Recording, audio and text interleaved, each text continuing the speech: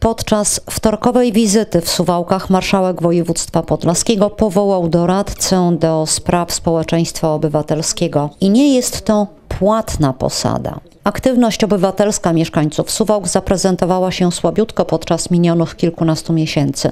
Wystarczy spojrzeć w dane statystyczne dotyczące frekwencji wyborczej, a widać jak na dłoni, że jako obywatele albo tracimy poczucie wpływu na działania rządzących, albo nie znajdujemy wystarczającego powodu, by wziąć udział w największym święcie demokracji w wyborach. Marne zainteresowanie wskazaniem liderów szczególnie mocno widoczne było już podczas wyborów do Rady Miejskiej, ale druga tura wyborów włodarza miasta okazała się frekwencyjną klęską. Zadaniem Rafała Truchana będzie zmiana naszego podejścia do obywatelskiej aktywności. Tak naprawdę będę tutaj tym, chciałbym być tym takim pomostem między lokalną społecznością, a właśnie urzędem e, pana marszałka.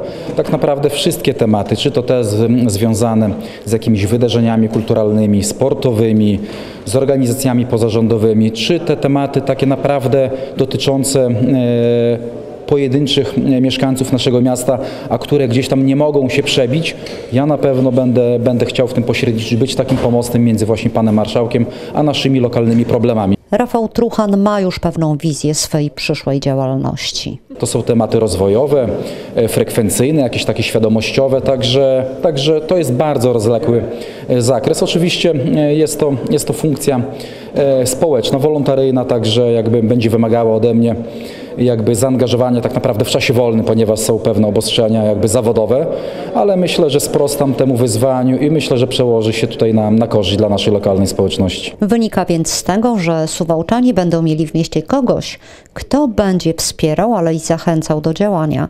Tuż po powołaniu Rafał Truchan nie określił jeszcze sposobu, w jaki można się z nim będzie komunikować, ale jak zapowiedział... To są to jeszcze takie szczegóły techniczne, które w międzyczasie dogramy. Na pewno mój mail, mój telefon telefon będzie dla Państwa i dla mieszkańców dostępny.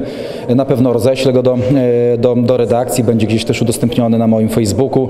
Także myślę, że powolutku, powolutku będziemy sobie tam skrupulatnie budować ten taki kanał komunikacyjny między mną, między Panem Marszałkiem, a Państwem i, i naszą lokalną społecznością. Będziemy pilnie śledzić poczynania doradcy i efekty jego działań.